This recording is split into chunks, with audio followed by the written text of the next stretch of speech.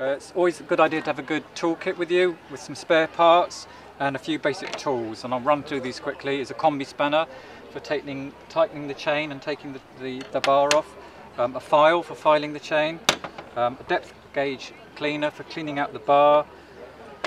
Um, a depth gauge tool for checking the depth gauges, a wire brush for cleaning the files, and a flat file for filing the, um, the gauges down and the bar. Also a small vise for knocking into the, uh, a log so you can stabilise the chain and the bar. Uh, and a small tuning screwdriver which is also useful for retuning and for cleaning the saw. Those are basic chainsaw tools for the field along with a good first aid kit and if in doubt uh, always have a spare chain with you which is um, a, a, quick solution to rather than um, sharpening a saw. It's always a good idea to have the bar cover on. The, chain is sharp it protects the bar, it protects you, it protects your belongings, your ropes, your car or animals, anything like that. Always have the bar cover put on the bar and um, make sure it's a, a reasonably good fit. Uh, before you take the chainsaw out or start using it, give it a visual check over, make sure it's all working properly. The chain breaker is working, the on-off switch is working, it's in good condition, uh, there's no cracks, all the, the bolts on there, the chain catcher is on there. Just give it a good check over have some clean fuel, fuel it up, always put the oil in first and then fill the petrol afterwards, making sure the fuel is clean.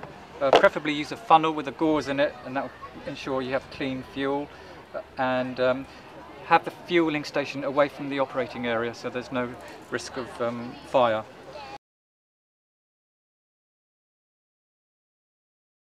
So you've, you've used the saw, you've started it, you've been in the woods and you've got it blunt.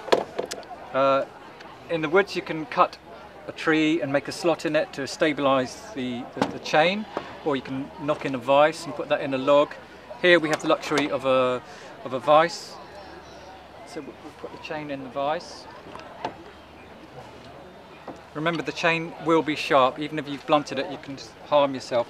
So if you're going to touch the chain, wear gloves on the chain, uh, on your hands to, to maneuver the chain or to, or to touch it. So we, we can now sort of lift the chain and move it and make sure it's moving freely. Uh, when you're filing, you want a good clean file, nice and sharp, the, the correct depth gauge and the correct file.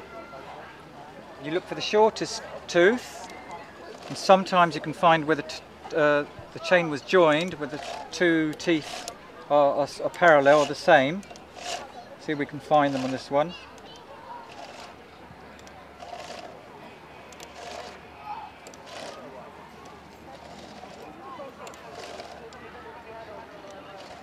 Okay, here, it's here, the two teeth are the same. So that's a good starting point. You put the file in, you gauge up the, the angle, it's 30 degrees in this case. You get a good stance, you hold the file well, and you give it two or three strokes, depending on how severely damaged the, the chain is. And when, when filing, you have to be consistent. Give it the same amount of strokes on each, on each file.